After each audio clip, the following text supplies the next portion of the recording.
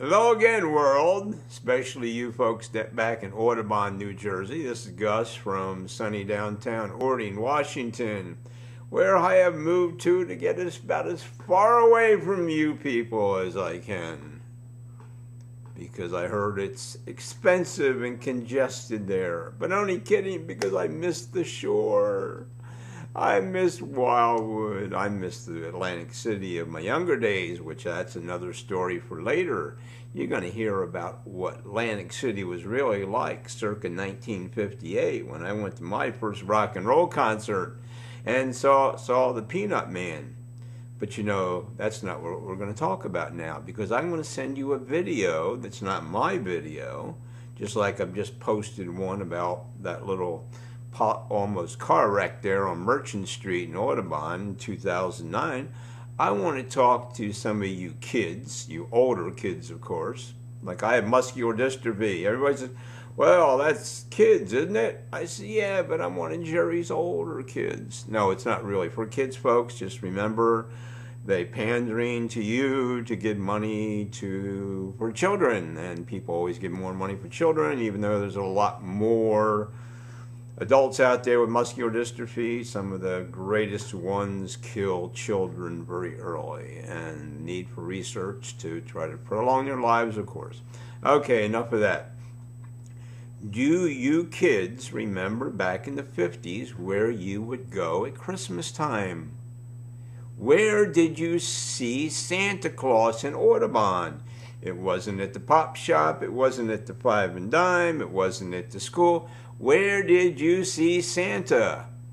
And get a box of hard candy and an apple or an orange from the table.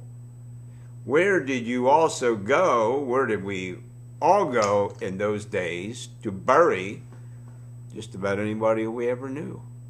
Where was the funeral and where was Santa? The same place. Foster's Funeral Home, White Horse Pike. And that's where we went to see Santa. I guess that's about the end of the story. I don't know when that began. I don't know when it ended. Maybe it never did. Maybe they still do it there for you younger, younger kids.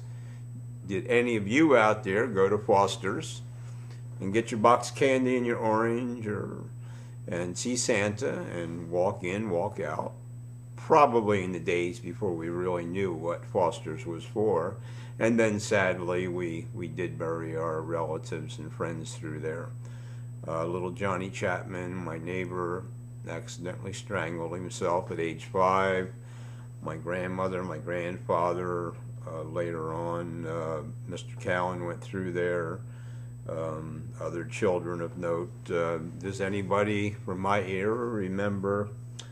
Oh, Marshall, Alan Marshall, at 1962, already left school, going in the Army, driving around the lake up there in Collingswood, I think, and hit a tree and died. Alan, you're still kept alive by our memories. Any case, that's my short story today. Foster's Funeral Home up there on the White Horse Pike. It's still in business. And I, along with this video, I'm sandwiching that video that I found on the internet for your enjoyment. See if you remember the rooms uh, for either Santa or where your loved one left from.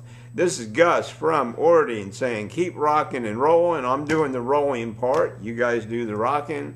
And we'll talk at you later on the rebound, some blah, blah, blah, whatever the radio guys used to do. Love the radio. Bye now.